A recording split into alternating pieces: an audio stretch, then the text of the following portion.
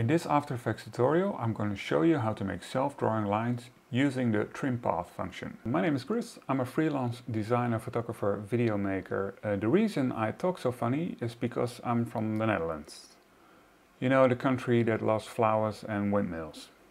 Let's jump into After Effects. Let's start by making a new composition. We're going to make this 1000 pixels by 1000 pixels. We make it 5 seconds long and the background we make this white. Press OK and then press OK again. Okay. Here's my uh, composition and I want to make, in this example, I'm going to use the star tool. It's underneath the rectangle tool. And I like to put on my title and action safe. And from the middle, I start drawing by dragging out. If I press the down arrow, I get less points. If I press the up arrow, I get more points. If I hold the control, then my points get less sharp. And if I hold shift also, it stays in the center. I'm going to release my mouse and as you can see the star is now drawn on our canvas. Um, if we want to make the line of the star bigger we can do it up here. We can change this number. Let's uh, put it on 10 and now we want to add the draw function which is called trim paths. If we open up the shape layer and we click this add arrow we can select the property trim paths. Okay, let's twirl this open and let's put some keyframes on this. We go to second one and we put uh, the end property. See if we drag this we can see the line is, be, is drawn on the canvas. So let's put this on zero and click this stopwatch to add a keyframe. And let's put our marker on 3 seconds. And if we select the end percentage and put it on at 100, uh, After Effects automatically puts a keyframe over here, or we can press the keyframe button. So let's see the result. And After Effects now takes two seconds to draw the line on the canvas. Okay, so that's our basics. But what can we do else? Well, for instance, we can also animate uh, the start property. So let's put our marker at 1 second and 5 frames. And we put a keyframe over there also. And let's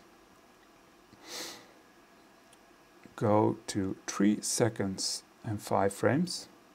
And we drag the percentage to 100% and After Effects makes a keyframe.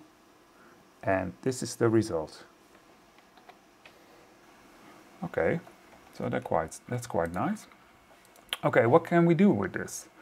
Uh, let's say um, we're going to rename this layer. So we press enter while, while it's selected and we name this green star. Okay, uh, let's duplicate the layer by pressing Ctrl D and we want to make this layer, um, we're going to name this blue star. blue star. Okay. Uh, we're going to open the contents, open the polystar, and uh, we want to make it blue, of course. So in here, we're going to click this green layer, and we're going to make this blue. That's nice blue. Okay, so now we have a blue star, and that's on top of the green star. Um, what we want to do is we want to make this 20 pixels. And uh, while we're here, um, let's make this layer a green. So it's really clear that this is the blue one. So now it's a green and a blue one, even to make it clear. So let's say we go to this stroke and we want to make our caps, that this is our, these are our caps, we want to make them round round caps. So that looks a bit better. And what we want to do is um, we want to reverse this layer. So this is the way um, the, the track path is going. So let's say we press this one and we press zero on the keypad.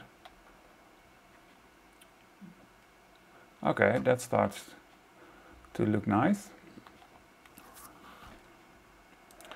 Okay, um, let's say we make another green layer. So we duplicate this one. Let's say we call this layer dashed layer. So we twirl open the polystar all the way. Uh, so we twirl this open, polystar, stroke, and then we put on the dashes. So we press plus, and instead of 10, we're going to use 25. And what we also want to do is we don't want this layer to um, to uh, fade out. We just want it to be drawn on. So we're going to delete this start end keyframe. And let's see what happens now. So now it gets drawn on. And I think it would be nice if we also make these dashed layer, the, this dashed layer, um, we give them round caps. So we all twirl this open and instead of butt cap we do round cap. See that looks a lot better. And instead of uh, the stroke width of 10 we make this 5. We can also do this up here but uh, we can also do it in here. So let's see what happens now. Okay. And let's say we also want the blue line to stay. So we're gonna duplicate this layer by pressing Ctrl D also.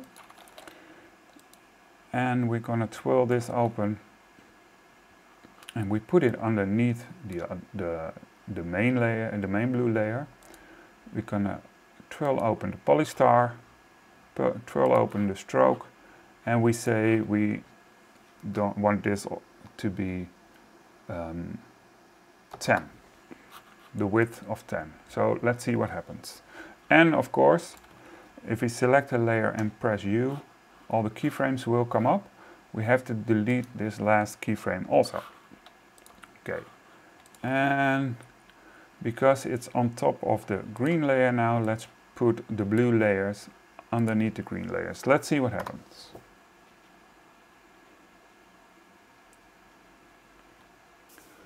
So as you can see, you can do a lot with these trim paths and uh, there's a lot more options, but these are the basics and uh, just fiddle around and see what you can do and uh, hope I learned you something today.